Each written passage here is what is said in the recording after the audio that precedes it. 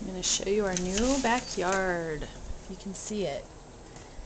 There's the patio cover, new table and chairs, new light, new fire pit, new dogwood tree, new, gardens, my Mother's Day present from Justin, uh, sandbox.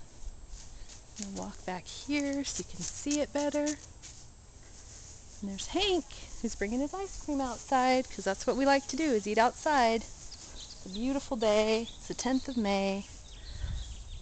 And there's everything, if you can see it. Nope. And there's plantings. And this is going to be a lot of fun this summer. See you later. Say bye.